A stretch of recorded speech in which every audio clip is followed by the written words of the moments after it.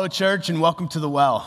Uh, I'm glad that you've chosen to worship with us today as we uh, close out the book of Ruth and we celebrate this incredible story of God's provision.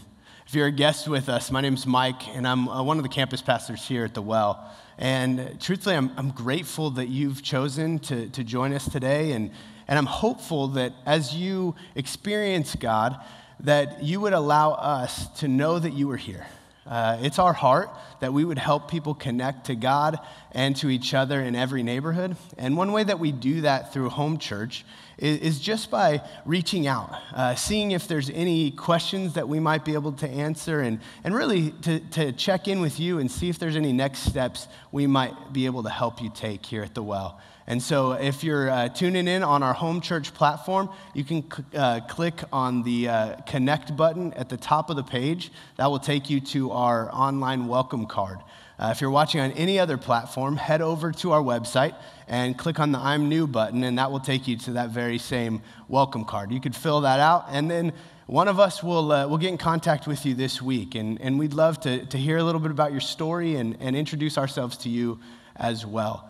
Well, as we get started here today, uh, we're entering into week three of missions emphasis. At the well, missions is a, a big part of what we do. Uh, we mentioned, I mentioned uh, wanting to help people connect to God and each other in every neighborhood. And as you've heard over the last couple weeks, that extends overseas as well. And God's doing incredible things all around the globe.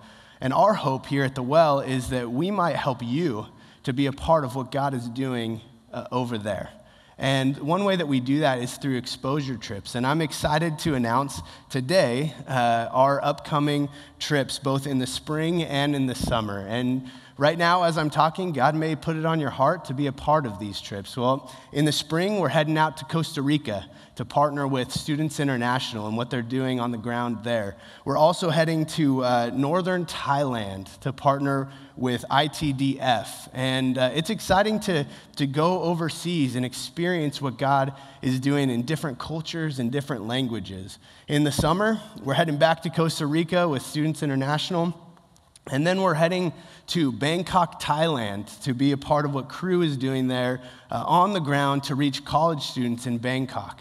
And you may be thinking to yourself uh, that, that one of these trips stands out to you. Maybe the Lord has placed it on your heart and you want to sign up. Uh, if you're interested in any of our exposure trips, or if you just want to find out more information, you can head over to our website uh, for all of that information or to sign up. If you have specific questions, you can email missions at thewellcommunity.org and uh, they'll get back to you as soon as possible.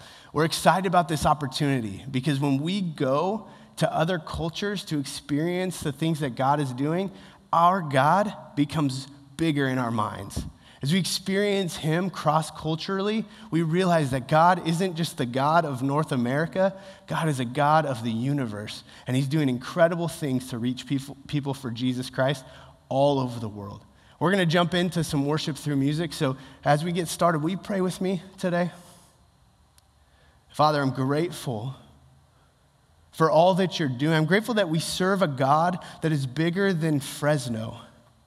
I'm, I'm, grateful that we serve a God that's bigger than the United States or North America or even Earth, Lord, that we serve a God that is the God of the universe, that created everything and everybody, and, and that is so loving that He cares for all of us, that He would long for people all over the world to be reached with the gospel of Jesus. And so, Lord, I just pray right now that you would uh, put these exposure trips on the hearts of those who you are calling. And Lord, that they would have the boldness to reach out and be a part of what you're doing through these trips. Lord, as we enter into worship through music, I pray that you would be proclaimed with our voices and our hearts. Lord, that we would sing praises to the one true King, the God of the universe. And Lord, that you would be worshiped. We love you. Jesus' name, amen. Well, friends, welcome to Home Church. We're going to introduce a new song today uh, that reminds us in Psalm 77 11 uh, that we remind ourselves of the deeds of what He's done. And even in times where it's difficult to remind ourselves of, of the goodness of who He is, man, we have a God who chases us, who seeks us, who loves us, and we have a reason to celebrate because of that. So we're going to learn this new song and let's fix our eyes on Jesus. Come on. when my heart is low. And when my heart is low, and I cry for help.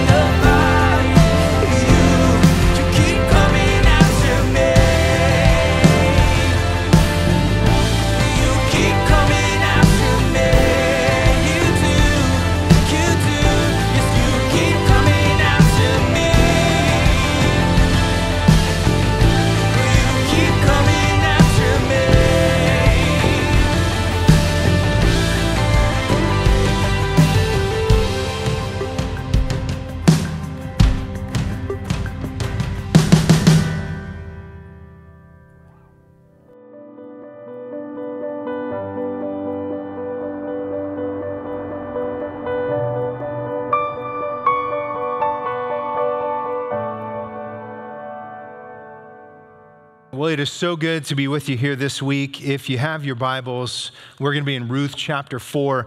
If I haven't had the chance to meet you yet, my name is Brad. I'm one of the elders and the lead pastor here at the Well, and it's just been a privilege to handle this book, this little gem, this little gem of God's faithfulness and God's providence, just four chapters tucked in our Old Testament, and yet the lessons that come from it are just profound. And I was mindful even last week as we were teaching through chapter 3, verse 11. Boaz says that Ruth is called by those in leadership of the community uh, a woman of excellence. And if you were to do a little digging in that phrase, woman of excellence, and what that means, uh, it means that Ruth is considered to be one who is mighty, powerful, capable, strong, valiant, and valuable.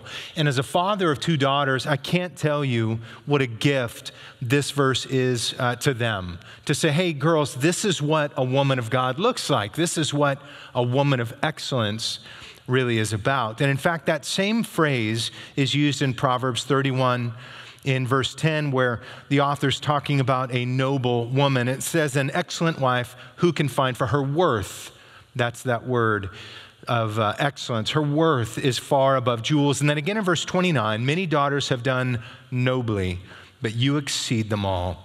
And so, this woman, what we know of her, is she is a godly woman. And again, just by way of reminder, we have no idea what she looks like. We haven't seen a single description of her physical characteristics whatsoever. All we know is she is godly. And it's also worth noting in that same Proverbs 31, where it talks about the woman of excellence in a little bit greater detail. It also says that her husband in Proverbs 31 23 would be known at the city gates and would sit among the elders of the land. And as we come back to the context of Ruth, sure enough, chapter 3, verse 11, again, Boaz says, Do not fear, for I uh, will do whatever you ask for all of my people in the city gate know you're a woman of excellence. And so not only is she a godly woman, but Boaz seems to be a superiorly godly man sitting in leadership of the city. And what we've seen so far in the first three chapters, and it sort of comes to a summation here in the fourth, is a series of what we have called just so happened events. When you go through life, there are things that occur, circumstances that come your way, and you can say, oh, that's an accident, or, or that's coincidence, or that's fate, or that's karma. And what we're saying is no, that's sovereignty and love. Or that's providence and grace. These just so happen moments are not just coincidences, but God's sovereign hand moving. For example, of all the fields that Ruth could have chosen to glean, it just so happened she picked the field of Boaz. And of all the fields that Boaz owned, and again, the assumption is there, there could be many, it just so happens he chose to visit the field on that day, at that time, and just so happened to notice Ruth. Of all the servants and of those gleaning in the fields, it just so happened that he took interest in her.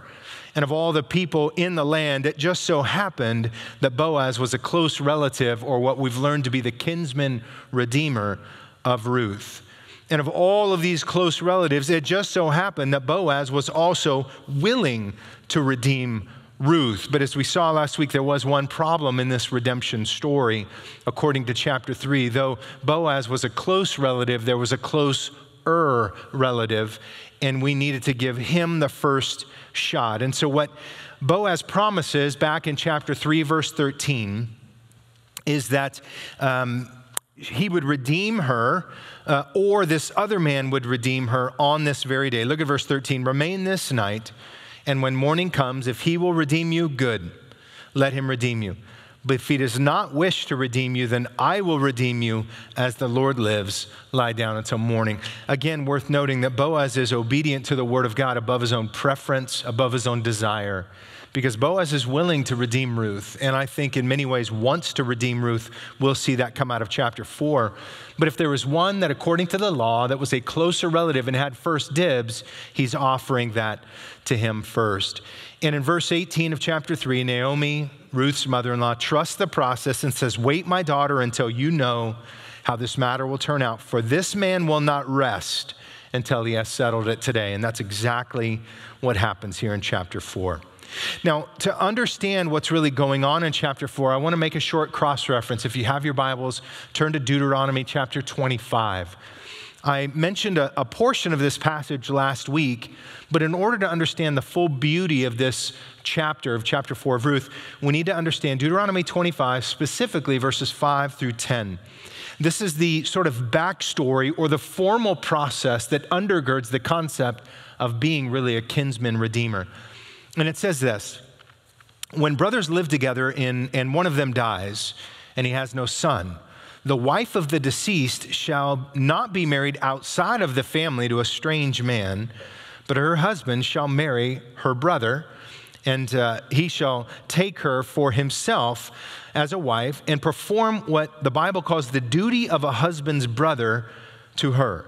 And it shall be that the firstborn that she bears shall assume the name of the deceased brother, so that his name will not be blotted out from Israel. Now, when you think about polygamy, we have to think about it from a biblical context and the ancient times. Uh, in this context, oftentimes polygamy in a family was used for a number of reasons. One, to keep land within the family, but two, to also care for widows. Because remember, these women have left their homes, they've journeyed uh, with this other family, they've sort of grafted themselves in. There's not really an opportunity for many to go back. And so this is a way to take care of those who are widows. And in verse 7, it says, And if the man does not desire to take his brother's wife, then his brother's wife has a protocol she can walk through. And the brother's wife shall then uh, take him uh, before, verse 8, the elders of the city, and shall summon uh, this boy or this man to come and speak. And if he persists to say, I do not desire to take her, then his brother's wife shall come to him in the sight of the elders, pull off a sandal off of his foot, spit in his face, and shall declare, This is to be done to the man who does not build up his brother's house.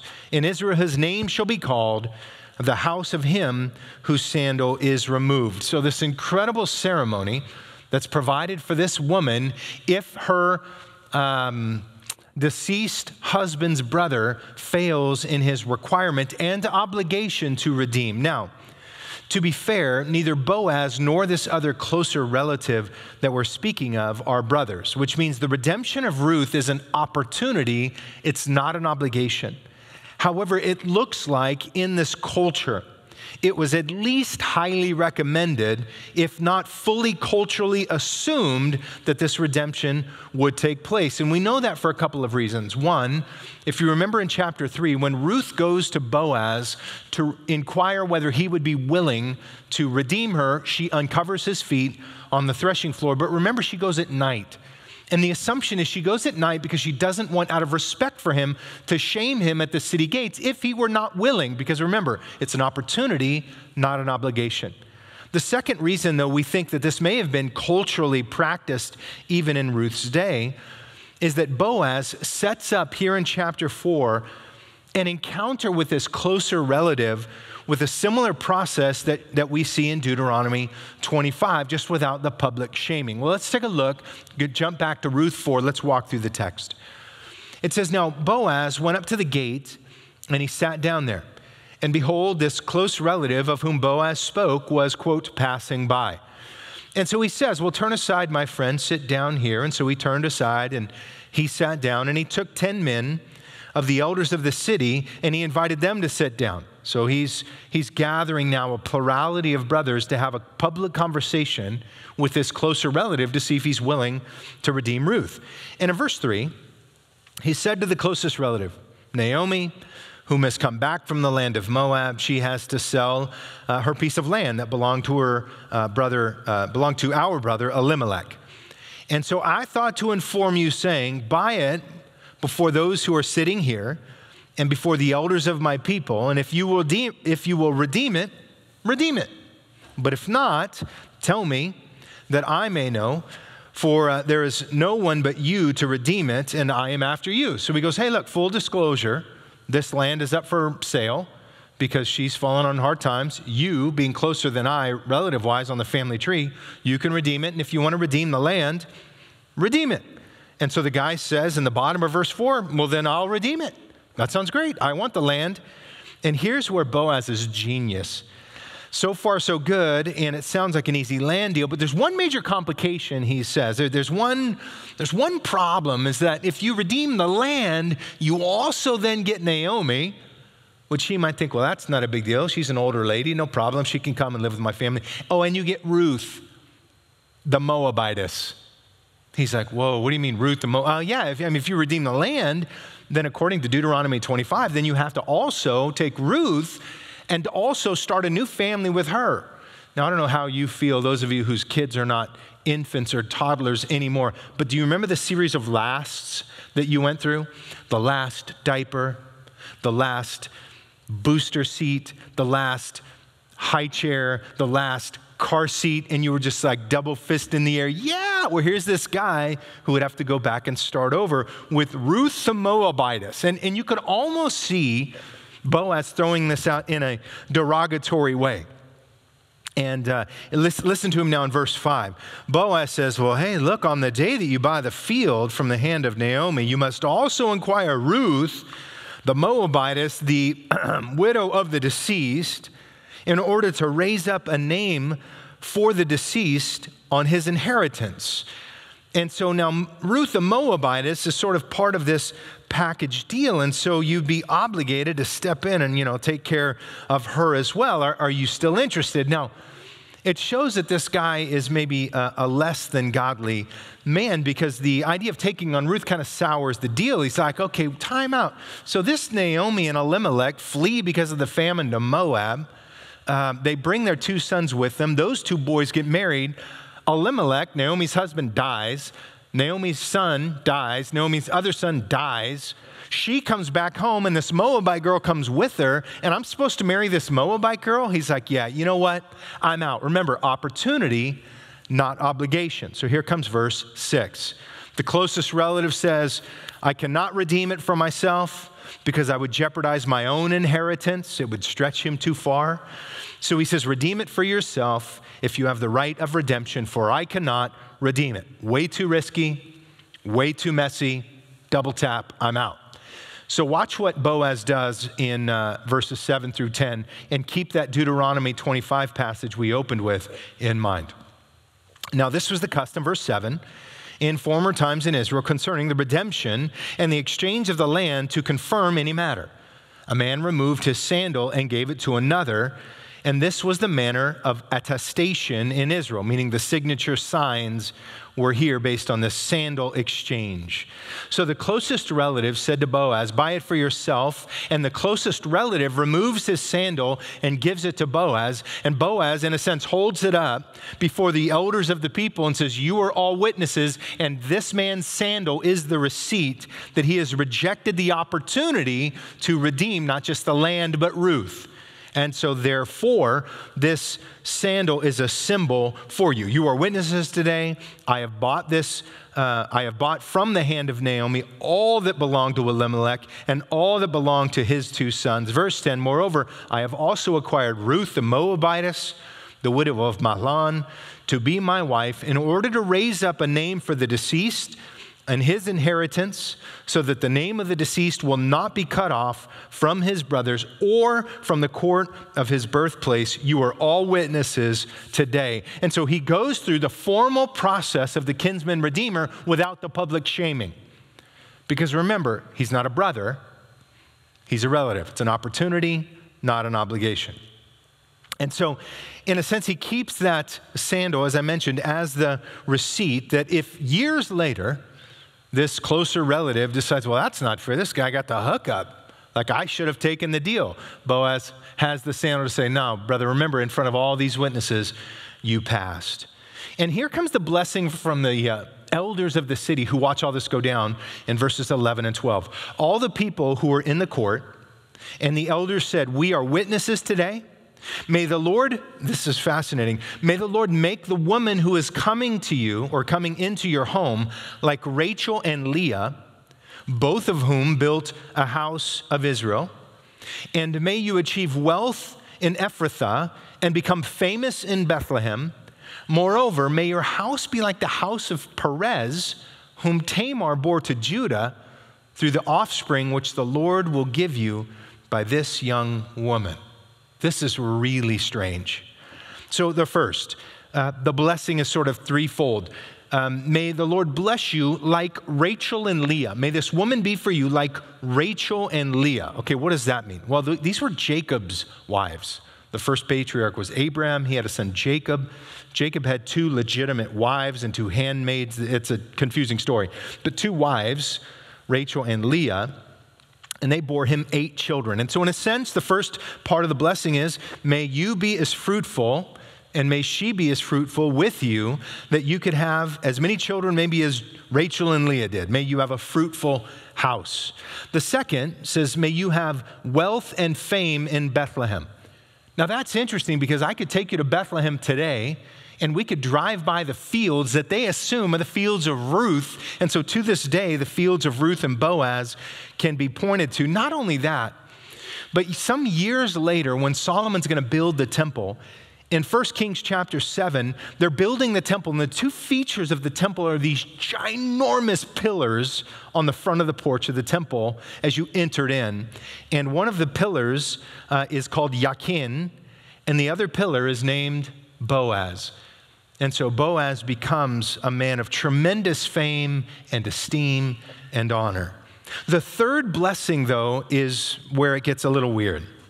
So may you be blessed like the house of Perez, who Tamar bore to Judah. Okay, time. If you cross reference, don't turn there now, we don't have the time to get there, but, but later, turn to Genesis 38. You're going to find a story about a guy named Judah. So Abraham had Isaac, Isaac had Jacob. One of Jacob's kids was Judah. Judah had three sons. I know it sounds like the start of a bad joke, but stay with me. Judah had three sons. The first two died. Now, what do we know about the story of the kinsman redeemer? One of those sons, in fact, his firstborn, married um, Tamar. This gal we're talking about here, may you be blessed like Tamar. Okay, so Judah's oldest son marries Tamar, and then that son dies. So the second son steps up and is the kinsman redeemer for Tamar, and then he dies. And Judah's like, dude, I don't like this pattern at all. Son one is dead, son two is dead, son three is in waiting. He should technically, according to Deuteronomy 25, marry this girl. But I don't, I don't know if somehow like there's something weird about her or what, but no. And so he withholds his third son. His wife, Judah's wife, dies. He does something incredibly immoral, goes to find a prostitute, and Tamar hears about it. Tamar, the now scorned daughter in law, she goes, Well, I'll show you. She dresses up as a prostitute and goes and meets with him. And the two bear a son whose name is Perez. This son right here. What does it mean that these men of the city would say, May he bless you, like the blessing of Perez, who was born of Tamar and her wonky relationship with her father in law? Like, how is that? How is that a blessing? And yet, that's the blessing that they give. Now, here's the interesting thing about it Tamar made a terrible choice. Well, let me start first with Judah. Judah made a terrible choice to not obey the word of God and have his youngest son be the redeemer for Tamar. So that's his sin.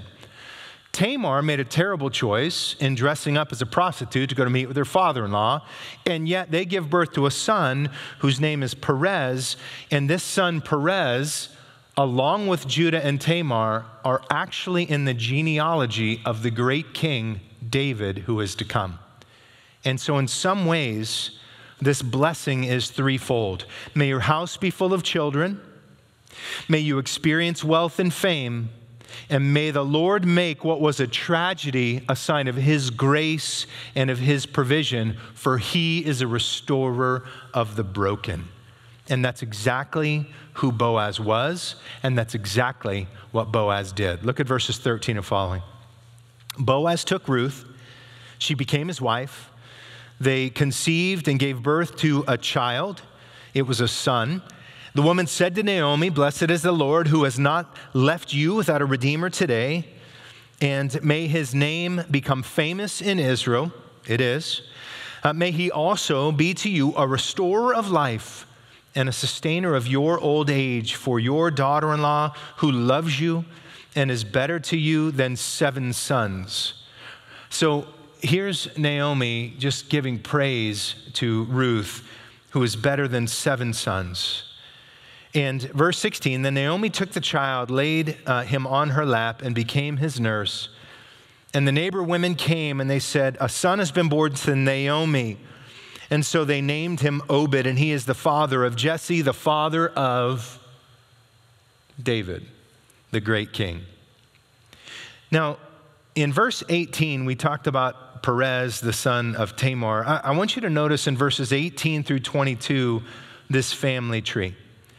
Now, these are the generations of Perez, who was born. Uh, who uh, was born uh, Hezron. Remember, Perez was the uh, son of Tamar and Judah, the prostitute dress up day. And in verse 19, Hezron gave birth to Ram, Ram to Amminadab, Amminadab gave birth to Nahshon, Nahshon to Salmon, Salmon to Boaz, and to Boaz, Obed. Obed gave birth to Jesse, and to Jesse, David, which means, may your house be full of children. May you experience wealth and fame. May the Lord make what was a tragedy a sign of grace, that He is a restorer of the broken and a demonstration of His grace, bringing beauty from the ashes. And that's exactly what occurred. And in verse 22, it just so happened that Boaz and Ruth are great grandparents of the great King David. Which means it just so happened that a Moabite woman not only is in the family tree of the great king, but it also means that she is in the family tree of a far more influential king. Turn for just a moment to Matthew chapter 1. I want to show you in Matthew chapter 1 another genealogy. And by the way, all scriptures inspired by God and profitable for teaching, reproof, correction, and training in righteousness, which means even the genealogies have a story to tell. And so, if you look at Matthew chapter 1, Matthew writing to a Jewish audience, you're going to see some familiar names in the family tree now that's recorded for us there. Matthew chapter 1, starting in verse 1 the record of the genealogy of Jesus the Messiah, the son of David, the son of Abraham. Abraham was the father of Isaac, Isaac the father of Jacob, Jacob the father of Judah. Remember, we've talked about him a little bit. Uh, and, uh, and Judah was the father of Perez, and Zerah by Tamar. Okay, so there's our girl Tamar. Perez was the father of Hezron, Hezron the father of Ram, Ram of Amminadab, Amminadab the father of Nahshon, Nahshon, Salmon, Salmon the father of Boaz. This is direct copy and paste from the genealogy in the bottom section there of Ruth 4. Boaz the father of Obed by Ruth, Obed the father of Jesse, Jesse the father of David the king, David the father of Solomon. Okay, so we, so far, so good, are tracking. Drop down just for a second to verse 16. Jacob, different Jacob, not the patriarch, another guy. Jacob was the father of Joseph, the husband of Mary, by whom Jesus was born, who was called the Messiah. So, Ruth the Moabitess is not only in the family tree of King David, she's in the family tree of the King Jesus, the Messiah, the Savior of the world. Not only Ruth, by the way, just a side note on the genealogy. Look in verse 3. Who's mentioned? But our girl Tamar, who had a bad Halloween costume apparently one year. Look at verse 5. Who's there? Rahab. What's Rahab's reputation? Rahab the what? Rahab the harlot from Jericho. Who's uh, mentioned in Ruth 5? There's Ruth. Ruth the who? Well, we know her to be Ruth the Moabite. Who's mentioned in verse 6? Bathsheba. Mentioned in the text as Bathsheba the who? the wife of Uriah, the other woman for Solomon. So, by God's grace, you have one, two, three, four incredibly shady women in the genealogy of Jesus. And by the way, it's not just the ladies, because behind every story of a woman of less than reputable character is a complicit man who was along for the ride. Here's the point in the genealogy of Jesus, much like we saw in Ruth that he is a redeemer of the broken, in the genealogy of Jesus, he's including names that you and I would go, Ooh, that person is in the genealogy, genealogy of Jesus? Answer is yes, because he is a Savior who came to seek and save the lost. It's a beautiful picture of His grace and of His mercy. But I want to sort of head to the close here by talking about the real hero of this book. In Ruth chapter 2, verse 1, it says that Boaz was a man of great wealth. It doesn't just mean coin. Uh, it means the idea that he was a man of great valor or of great fame. You could also translate that he was a hero. And Mike made mention in the early parts of the book that he was a hero, yeah, if you call it a lowercase h hero. And there's no question. But the real hero of the story, the, the capital H hero of the story, is a much more profound redeemer. And Boaz is a shadow of the HD color that is to come, the shadow of the 5K redeemer, the hero who is to come. Jesus said in John 5, to the religious leaders. He said, Friends, you are searching the scriptures because you think that somehow in the scriptures you're going to find eternal life. But the scriptures, plural, speak of me. That's Jesus saying from Genesis all the way to Revelation, every story whispers his name. Which means then, if Boaz is a lowercase, lowercase h hero, then the capital H hero, Jesus, is all throughout this story, at least in shadow. So let's look at that. And I'll contrast it with a just like and a we too. So here we go. Just like Naomi, who turned to God after a string of bad decisions and found grace so we too can turn to God after a string of our own bad decisions and find grace through our Redeemer, Jesus Christ. Just like Naomi and Ruth were destitute and in need of redemption, which they could not provide in and of themselves, we too, apart from Christ, are dead in our sins, enslaved to our own passions, and without hope in and of ourselves. But thanks be to God that when we were dead in our transgressions of our flesh, He made us alive together with Him, having forgiven us all of our transgressions, having canceled out our certificate of death. He has taken us and taken those things out of the way and having nailed them to the cross, that He has saved us, our Redeemer, not on the basis of deeds that we have done, but by His mercy, by the washing of regeneration and renewing of the Holy Spirit. Just like Ruth, who experienced the favor and love of Boaz, we too experience an even greater favor and greater love of Jesus Christ, the riches of Christ provided for us, redeeming us from our brokenness and making us heirs, heirs of God, fellow heirs with Christ, calling us out of um, abandonment into adoption as sons. And just like Boaz, where it just so happened that he was in a position to be a kinsman redeemer, so, too, so too Jesus was perfectly positioned to be our redeemer.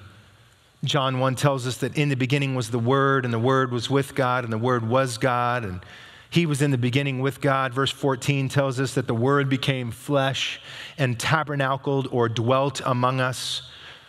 Colossians is going to tell us that he uh, rescued us from the domain of darkness and transferred us to the kingdom of his beloved Son, because in him all the fullness of deity dwelt in bodily form, and in him, according to Colossians, we are made full. That because Jesus is full deity, clothed in humanity, it just so happens he's in the perfect position to be the redeemer of all of those who have been dead in our transgressions and sins. In fact, scripture tells us in 2 Corinthians that God made him who knew no sin to be sin on our behalf that we might become the righteousness of God in him. That it just so happened that, but God, being rich in mercy, because of his great love in which he loved us while we were dead in our transgressions and sins, he made us alive together with Christ. And just as in the days of Ruth, who experienced this, this really interesting dance between sovereignty and love, or providence and goodness, that we too experience his love, moving us to repentance. Romans 2 tells us in verse 4 do not think lightly of his riches and his kindness and his tolerance and his patience, not knowing that the kindness of God should lead us to repentance. John 3:16 so classically says that God so loved the world that he gave his only begotten son that whoever believes in him will not perish, but have everlasting or eternal life. For God did not send his Son into the world to judge the world, but that the world might be saved through him. There's no doubt some of you have already experienced the redemption that is in Christ. You're like, you're like Ruth post Boaz. Uh, some of you have trusted Christ, you've been redeemed, you've experienced salvation, you understand the joy that comes in living a life lived in relationship with your Redeemer. Some of you are on the pre Boaz Ruth side. Your life is like Naomi, who changed her name to Mara, and you're like, man, my life is bitter. Your life is bitter, my friend, because you haven't embraced the Redeemer who loves you so much that he died for you and invites you right now to turn from your bitterness and embrace Jesus Christ and be made new. I mean, Scripture invites us into that, that if anyone is in Christ, we are new creatures. Old things pass away. You are not defined by where you've been. A thousand bad decisions multiplied by a thousand bad decisions, and you are one moment away from an encounter with Jesus Christ where all of that is blotted away, blotted away as far as the east is from the west. You are one moment away. For if we confess with our mouth that Jesus is Lord and believe in our heart that God raised him from the dead, we will be saved. That as many as received him, to them he gave the right to become children of God, even to those who believe in his name. So if you are in your bitterness pre redemption, can I invite you to the cross? And you say, Oh, yeah, but I've made so many bad decisions, get in line. You got people in the genealogy of Jesus literally dressing up as prostitutes, and God says, I can use it. I can use it, I can redeem it, I can make it new. And sure enough, here we all are, every single one of us, saved by the grace of God and the grace of God alone. And just as Ruth delighted in her kinsman redeemer, we too delight in our Redeemer, Jesus the Christ. Titus 2 says this that the grace of God has appeared and it brings salvation to all, instructing us to deny ungodliness and worldly desires and to live sensibly, righteously, and godly in this present age, to look for the blessed hope and the appearing of the glory of our great God and Savior, Christ Jesus, who gave himself for us to redeem us from every lawless deed and to purify for himself a people for his own possession, zealous for good deeds. And so that's the book of Ruth a gift of God's providence and his love, his sovereignty and his goodness all on display shadows of redemption, showing us the full color picture of Jesus our Christ, who loves us so much that he came to die for us. The least of these. What a Savior, what a Redeemer. And Boaz is a hero, no question, but Jesus is better. And I'm so thankful that we're not stuck in our sin, but that Jesus loves us so much that he came to be our kinsman redeemer. Let's pray. Father, I thank you for your word. I pray, God, that we would always live downwind of ourselves, mindful of our sin, both that you saved us from and that you are still working on us with now, because it's in those moments where we recognize your grace. And we thank you that you care about us. We thank you that you love us and that you're patient with us. And Lord, for my friends who have yet to trust in their Redeemer, Jesus the Christ, whose lives are still defined by the bitterness of not being redeemed, Lord, could they turn to you, knowing that you can provide and restore and redeem and make new. And for those who have experienced your grace, may we be thankful always for a Savior that loves us so much that he pursued us. And could our lives reflect that in how we live, full of gratitude, full of joy, and full of hope? Even in a world today, Lord, that is in need of grace, a world full of chaos and ruin, could we be those who stand with hope in our hearts, always ready to make a defense to anyone who asks us to give an account of the hope that is in us because we are the redeemed in Christ. And for that, we have everything. And we'll thank you in Jesus' name. Amen. So, God, as we confess that truth, um, that there are times in our lives uh, where we forget uh, that you are working. We forget uh, because of the circumstances um, that are going on in our lives, we forget who you are in the midst of that. And so that's our confession today. Uh, but we also pray that as we are singing this next song, God, would you stir within us a desire for you, for your things, for your thoughts, and, and the simple truth of just acknowledging that you are better you're better than the world. You're, uh, you're better than the things this world has to offer that you alone suffice. And so we worship you, we love you. Oh.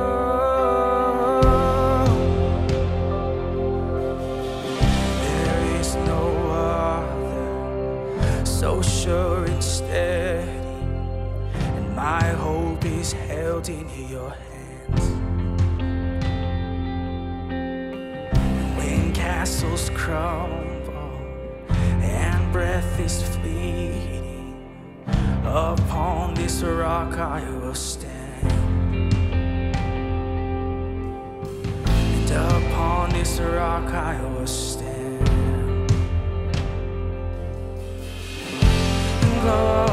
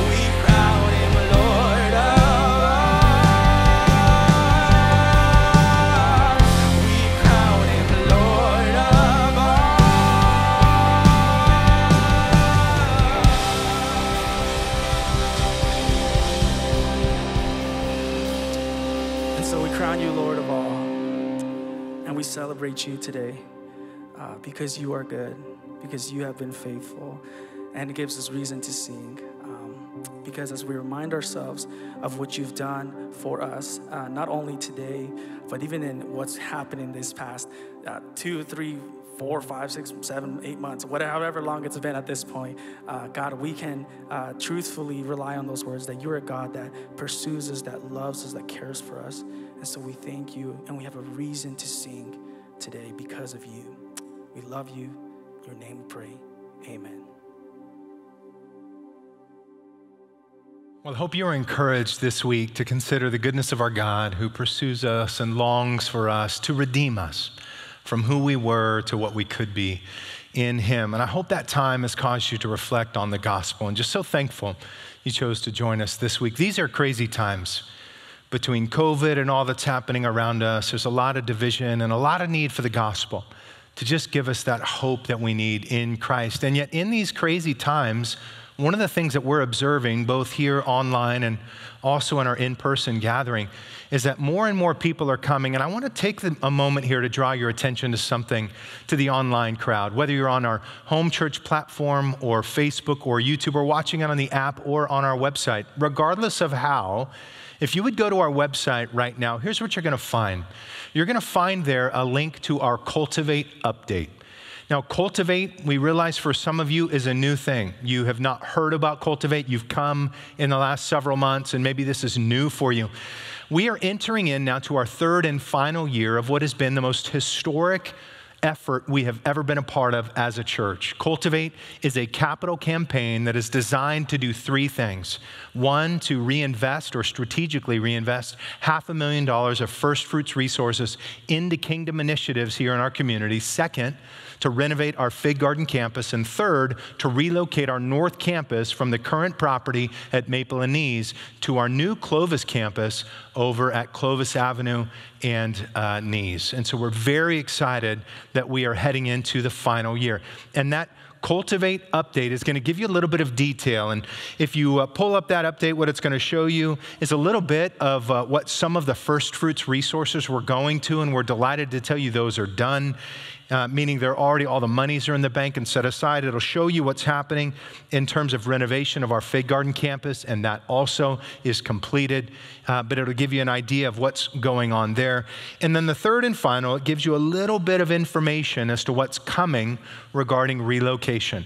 Thankfully, as we head into this third and final year, our focus is singular and that is completing Cultivate with that third and final goal of relocating to that Clovis campus. Now, the whole thing driving Cultivate, if you remember, is a desire to strengthen this generation and reach the next. The psalmist said, Oh God, you have taught me from my youth, and I still declare your wondrous deeds. And even when I'm old and gray, oh God, do not forsake me until I declare your strength to this generation, your power to all who are to come. That is what Cultivate is about. And along the same lines as that, you'll also find on the website, we wanted to give you, by the way, this Cultivate update so that you could sort of get yourself up to speed as to what's going on with Cultivate. And we'll talk a little bit more next week at the actual celebration or anniversary carnival event next week. But you'll also find on the website a Cultivate commitment. There's no question these are important times for us as a church, and what that commitment envelope or commitment page is going to show you is an opportunity for you to be invited into Cultivate. Cultivate is not a push thing. We are not a drive by guilting church. That's not who we are, never has been, and by God's grace, never will. This isn't a push thing, this is an invitation thing. And we want to invite you, especially those who are new, to be a part of Cultivate for our final 12 month run. And what that means for you is on that Cultivate Commitment page, you're going to ask and answer three very significant questions. Are you in a place today to be willing to commit for the first time? Are you in a place today to maybe increase your commitment if you've already participated? And third, are you in a place today to actually continue to fulfill whatever commitment you made? And all of that information will help us determine where we're going to be as we head towards the close here of cultivating this third and final year.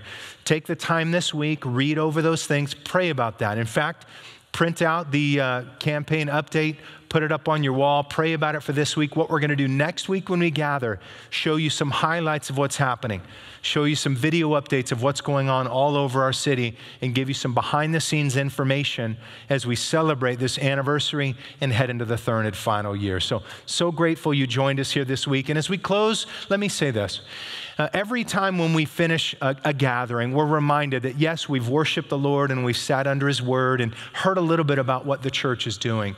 But the reality is, is our expression of worship, our highest expression of worship, is not necessarily what we just did, as wonderful and glorious as that might be, but it's actually what happens tomorrow and the next day and the next day. And so I would say to you, as we have said for many years now, as we leave today and as you go about wherever it is God takes you, not just having a moment of worship together, but how about go have a great week of worship wherever you live, wherever you work, and wherever you play. And next week, when we assemble together, we'll celebrate Him again. So, so glad you joined us. God bless you, and we'll see you next week.